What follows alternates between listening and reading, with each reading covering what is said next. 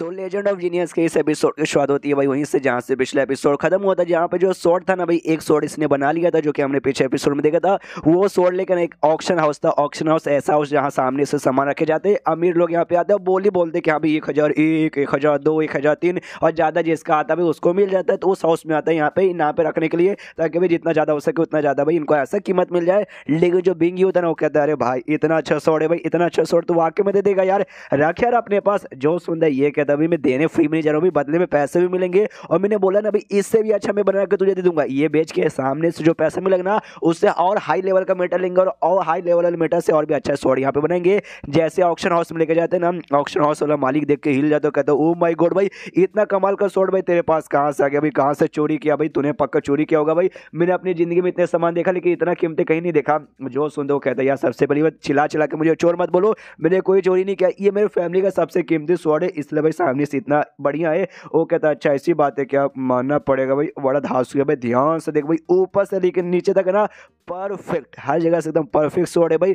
आया है, मैं तो इसके ऊपर ना दिला चुका है। एक काम कर भाई, ये सामने से सोड है ना, कहीं और लेके मत जा। ये जो मेरे ऑप्शन हाउस है ना भाई, मेरे ऑप्शन हाउस में यहाँ पे रख दे। देखते भाई, इसकी कितनी कीमत जाएगी। बहुत ही ज़्यादा हाई कीमत जाएगा और जो इतना भी कीमत जाएगा ना, बस उसमें से मुझे एक परसेंट एक परसेंट खाली कमीशन दे रहा बाकी निन्यानवे परसेंट पैसा तेरा हो जाएगा। अगर भरोसा नहीं तो ले भाई एडवांस में ना मैं तुझे यहाँ पे पाँच हज़ार है ना, ये पर पर दे रहा हूँ। भाई, अब यहाँ पे मना मत करना। सामने से ये बोलते हैं, मना, अरे बिल्कुल भाई, रखो रखो रखो, सामने से भाई, जैसा पैसा आएगा एक परसेंट रख के बाकी मुझे यहाँ पे दे देना। पीछे से बिंगू देख के जाता अरे बाप रे, इतना ज़्यादा पैसा। फिर सामने से ऑप्शन मालिक कहता ओके, ठीक है भाई जो कॉन्ट्रैक्ट है भाई, कॉन्ट्रैक्ट यहाँ पे साइन कर लेते वो भी कहते ओके, ठीक है, लाओ, साइन कर लेता हूँ। ले, मैंने साइन कर लिया। तो तुम इसका ऑप्शन यहाँ पे कब रखोगे? तो वो कहते हैं, सब कुछ अरेंज करने में यहाँ पे दस दिन लग जाएगा। तो दस दिन बाद यहाँ पे मैं कर दूँगा। वो भी कहते कोई बात नहीं, दस दिन बाद हम लोग पैसा लेने के लिए आएँगे। अब ये निकल जाते हैं और निकलते ही ना यहाँ पे बिंगी उसी कहते चले बिंगी, आज सामने जो खाने ना वो खाएँगे। अरे जेब में पड़ा कैश और अपनी ऐश ही ऐश। वो भी कहते यस भाई कैश है और खाली यहाँ पे ऐश उसके बाद यहाँ पे शीश होता है दस दिन बाद ऑप्शन यहाँ पे लग जाता है सामान बिक जाता है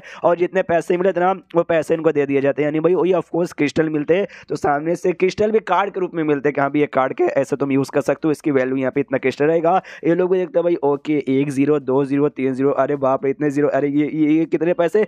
बीस मिलियन ये ये ये बीस मिलियन पर पर क्रिस्टल है। सामने से भाई तूने इतने महँगे में काय को बेचा? जो सुनते ही ऑप्शन वाला कहता है ये मैं नहीं बेचा भाई लोगों ने इतनी बोली पे लगाई। मुझे भी लग रही था कि बीस मिलियन इसकी कीमत जाएगी। मुझे लगा भाई, ज़्यादा से ज़्यादा ना एक मिलियन यहाँ पे जाएगा। लेकिन मैं देखो, बीस मिलियन चला गया। तो भी सुन के यहाँ पे बैंक हिल जाता है। अरे बाप रे भाई, एक मिलियन भी यहाँ पे बहुत ज़्यादा होता है। ऑप्शन अच्छे से पूरी कहानी सुनाने लगता है कि एक्जैक्टली यहाँ पर हुआ क्या था। जैसे भाई, मैंने तलवार आया मैंने बताया कि हाँ भाई, चलो शुरुआत करो। तो स्टार्टिंग में नॉर्मली एक लाख, दो लाख, तीन लाख इतना इतना यहाँ पे जा रहा था। लेकिन उसके बाद से जो अमीर लोग थे ना भाई, अमीर लोग आपस में फाइट करने लगे हाँ भाई, मुझे चाहिए मुझे चाहिए। और ऐसा बोल बोल के ना वन तक यहाँ पे चला गया और जैसे वन मिलियन पे गया ना, उसके बाद से कोई अजीब सा कांड हो गया। एक लौंडा बेसिकली यहाँ पर आया था, उसने आता देखा, भाई, एक मिलियन भाई, आखिर ये सोड में ऐसा ही क्या कि इसकी कीमत यहाँ पे एक मिलियन है? और वो बंदा और कोई नहीं, बल्कि ना एक सैंत सोड मास्टर का ना, वो स्टूडेंट यहाँ पे हुआ करता है और बड़ा गुस्से वाला, बड़ा चिड़चिड़ा, बड़ा एटीट्यूड वाला बंदा है और बड़ा स्ट्रॉन्ग भी था, इसलिए सामने से कोई भी ना उसके साथ पंगा लेने जाता ही नहीं। वो यहाँ पे सामने आया, उसने देखा कि भाई, ये सोड तो ऐसा मुझे कुछ खास लग नहीं रहा। उसने अपना सोड यहाँ पे निकाल लिया और सामने से कहा कि, देखो भाई मेरा जो सोड है ना, इसकी कीमत यहाँ पे दो लाख है। मेरा है, ये जो सोड है ना, हम लोग यहाँ पे दोनों सोड में से चेक करते हैं कि यहाँ पे बढ़िया कौन है। जो सुने सामने से ऑप्शन वाला कहता क्यों भाई, इसकी यहाँ पे क्या ज़रूरत है? तो नहीं कर सकता। ये बोलता नहीं कर सकता। देख ले भाई अपन कौन है? अपन यहाँ पे कर सकता है? और मैं तो बस यहाँ पे चेक करना चाहता हूँ भाई, मेरी सोड की कीमत यहाँ पे दो लाख है और जो दूसरा सोड रखा हुआ है, इसका लोग एक मिलियन में देने को तैयार हो गए तो मैं तो चेक करता हूँ ना। बाई चांस मेरा सोड यहाँ पे टूट गया ना तो सामने से मैं हार मान जाऊँगा और मैं अपना नुकसान की भरपाई नहीं मांगूँगा। लेकिन अगर ये सोड निकल या बेकार निकला ना तो सामने से तुम्हारा पूरा ऑप्शन हाउस ही बर्बाद करके रख दूँगा मैं। तो सामने से भाई हमारी फट गई, हमारे पास यहाँ पे कोई भी रास्ता नहीं था तो हमने भी भाई यहाँ पे मंजूर कर लिया और मैं भाई मालिक था इसलिए सामने से मैंने यहाँ पे सोड लिया था और सामने से मुकाबला करने को तैयार था। उसने कहा भी डोंट वरी मैं तो बस चेक करना चाहता हूँ, बस फ़िज़िकल पावर यूज़ करूँगा, अपने इंटरनल पावर यहाँ पे यूज़ नहीं करूँगा। उसने भाई पावर आके भाई शॉर्ट पे मारा। मैंने कुछ नहीं किया, बस मैंने रोका, लेकिन सामने से ये जो आपका शॉर्ट था, इसका कुछ नहीं हुआ। उसके शॉर्ट के यहाँ पे एक ही अटैक में यहाँ पे दो टुकड़े हो गए जो देखते हैं यहाँ पे बंदे लोग भी सबके सब हिल गए, कि अरे बाप रे, कितना पावरफुल जब सामने से मैंने शॉर्ट से रोका ना तो मुझे भी हल्का सा भी चोट नहीं लगा भाई। मुझे भी बहुत ही अच्छा यहाँ पे महसूस हुआ। यानी वाकई में जितना ज़्यादा अच्छा मैंने सोचा था ना, ये शॉर्ट उससे भी यहाँ पे ज़्यादा अच्छा निकल गया और लोंडा भी हार मान जाता है कि ओके ठीक है, मैं हार मानता हूँ। आपका शॉर्ट यहाँ पे बढ़िया है और जैसे बाकी लोगों ने यहाँ पे कांड देखा, इसकी कीमत और बढ़ गई। डेढ़ मिलियन, दो मिलियन, पाँच मिलियन, दस मिलियन अब में ऐसे कर, करके यहाँ पे टोटल ट्वेंटी मिलियन तक जा चुका था। तो यही बेसिकली यहाँ पे कहानी है। और उसके बाद से जो हमारा ऑप्शन हाउस है ना, वो बहुत ही फ़ेमस हो गया। और भी बड़े बड़े लोग ना अपने टेसर आइटम लेकर आते हैं कि आपने ऑप्शन हाउस में बेचिए ताकि हमारा भी हाई कीमत में बिकेगा, जिससे भाई मेरा ना बहुत ऐसा प्रमोशन हो गया और बहुत बंदे आ रहे तो भाई बहुत ही पैसे रहे इसलिए भाई जो आपका एक परसेंट कमीशन लेने को मैंने कहा था ना, मुझे नहीं चाहिए, मुझे आपका कमीशन भी नहीं चाहिए, और जो पाँच हज़ार मैंने आपको एडवांस में दिया था ना, वो पाँच हज़ार भी आपको यहाँ पे वापस करने की कोई भी ज़रूरत नहीं है। लीजिए भाई, आपका बीस मिलियन अब जाइए, वो भी कहते हैं थैंक यू जाते जाते ये कहते हैं हाँ लेकिन अगली बार भी कोई कमाल का आइटम रहा तो लाइएगा। कहते हैं या या ऑफकोर्स लाऊँगा। लोग निकल जाते लोग बहुत ही खुश है, वाह यार, एक बार में बीस मिलियन मिल गया भाई, अब ज़्यादा जेब में पैसा होना था भाई, खर्च करने का मन करता है। कहाँ खर्च करें? लेंगमो कहते भाई मुझे भाई, सामने से जो मेरा घर है ना, मेरा घर बहुत ही छोटा लगता है। यानी भाई, अब घर नहीं, बल्कि अब बंगलो लेंगे, बंगलो। बंगलो के पास आ जाते कि हाँ भाई, ये बंगला तब हमारा होगा। उसके बाद लोग खरीद भी लेते हैं और ये घर यहाँ पे लिटरली बहुत ही बड़ा था। और बड़ा घर जो ऊपर से खाली रहता है उसके अंदर एको होता नहीं। यहाँ पे एक चीज़ बोलो हाँ पचास सौ रिपीट होगा तो इको होता है इको के लोग मज़ा लेते हैं। अब सामने से देखते भाई, घर खाली, घर में कोई सामान नहीं है। तो टेंशन का भाई, पैसे ही पैसे हमारे पास। जाओ भाई, और लेकर आ जाते हैं और ढेर सारी भाई, घर का जो भी सामान है सामान मंगवाते हैं। अब, घर के अंदर पूरा स्विमिंग पूल बना लेते हैं। हाँ बहुत ही बड़ा, और जो भी एंजॉय कर सके वो बनाते हैं। बारबी मतलब बारबी क्यों नहीं पकाने के लिमिट स्पेशल रूम बनाते हैं। और साथ ही में लिटरली इनको मज़ा आ रहा है। भाई हैवन इनके लिए तो एकदम हैवन ही हो चुका है। और ऐसे एक दिन मज़े मज़े में आराम से खा रहे हैं। और खाते खाते एकदम है ना, इसका पूरा पेट भर जाता है बिंगू का।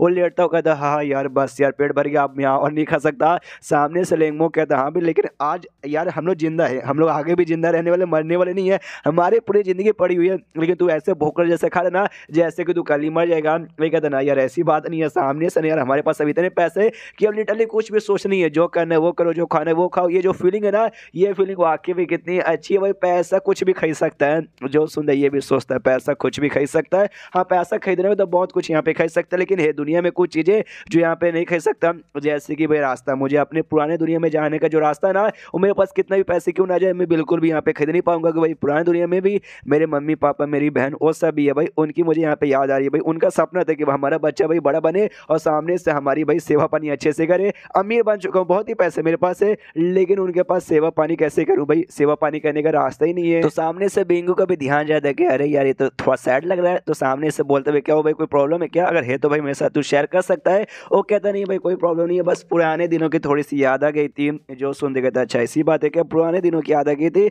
यानी तकलीफ़ की बात नहीं है कोई यहाँ पे तकलीफ़ रहना मुझे बताना, मैं पूरी करने की यहाँ पे कोशिश करूँगा। सामने सो भी कहता है यार शॉल। बिंगू सामने से फिर कहता है देखे अगर कोई प्रॉब्लम ऐसा वैसा रहा तो शायद मैं सॉल्व नहीं कर पाऊँगा। लेकिन अगर कोई तुझे परेशान किया, मारने की कोशिश किया, मुझे बोलना, भाई किलिंग विलिंग का काम मुझे आता है जाकर उसको सीधा टपका दूँगा और बदले में तो खाली मुझे यहाँ पे मीट बना के दे देना, हमेशा की तरह, कुछ भी नहीं। वो कहता है, अरे यार, नहीं, मुझे ये काम नहीं है, मुझे एक दूसरा काम है। क्या ना, भैया, घर मेरा और घर मैंने यहाँ पे खेदा है घर यहाँ पे बहुत ही बड़ा है तो काफ़ी अकेला अकेला सभी यहाँ पे लगता है। जो सुनते कहता है, ओके, मैं सब समझ हूँ, भाई, औरतें चाहिए, भाई को औरतें चाहिए। डोंट वट टेंशन मतलब कल जाऊँगा कोठे पे और ढेर सारी लड़कियाँ तेरे लिए यहाँ पे लेकर जाऊँगा। आई नो भाई, मैं भी आदमी हूँ, आदमियों की क्या चीज़ की ज़रूरत पड़ती है? सब मालूम है, वो कहता है, भाई यार, तू तू तू तू कहाँ पे जा रहा भाई नहीं, मुझे औरतें बिल्कुल भी नहीं चाहिए। यह सामने से एक पार्टनर चाहिए, भैया, तू पार्टनर है ना भाई तो मेरे घर पे रह रहे भाई, ये मैं कहना चाहता हूँ। वो कहता बस इतो सी बात ले भाई, आज से भाई मैं तेरा पार्टनर एक ही साथ इस घर में रहेंगे। एंड देन ये चैप्टर यहीं पे खत्म। तो चैप्टर खत्म तो वीडियो भी खत्म तो मिलते हैं अगले किसी वीडियो में। जब तक के लिए बाय बाय